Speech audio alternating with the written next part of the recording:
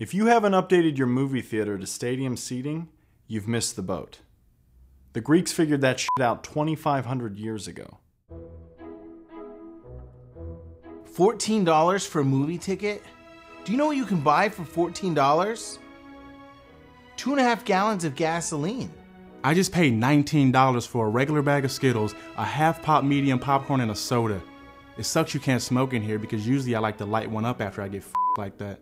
I have the right to leave my trash on the floor after the movie because I just dropped 50 bucks to bring my girlfriend to this goddamn Twilight movie. And you're gonna earn every penny of your $8 an hour salary cleaning it up. Black people, I don't mean to single you out. But can you please stop talking during the movie?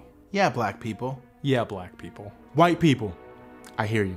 I mean, I don't hear you doing movies because you're not talking, but I understand what you mean about black people who talk during movies because I used to be one. I'm not proud of it. Why is this my armrest? Because I got here first. I claimed it during Coke Trivia.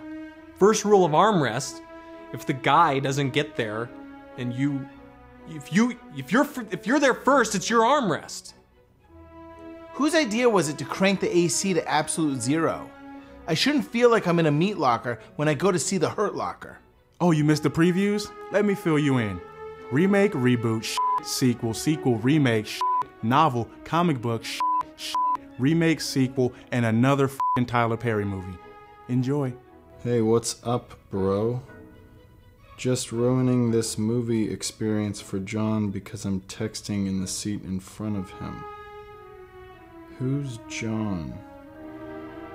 He's the guy sitting behind me in the theater in this hypothetical scenario. No, scenario. Really?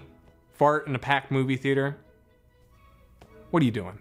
The only reason I'm not gonna walk out of this terrible Adam Sandler movie is because I can't. I'm stuck to the floor. Finally, someone said it. Anyway, thanks again for watching, guys. Be sure to check out some of our other rants below or watch them all by clicking the Watch All Rants button. Subscribe, follow on Twitter and Facebook, links in the description. Leave comments and suggestions for the next Gentleman's Rant, and we'll be sure to put that in our 3D movie coming out this up. And like, favorite, and share this video to be entered in for a chance to win. I've actually never seen a Tyler Perry film.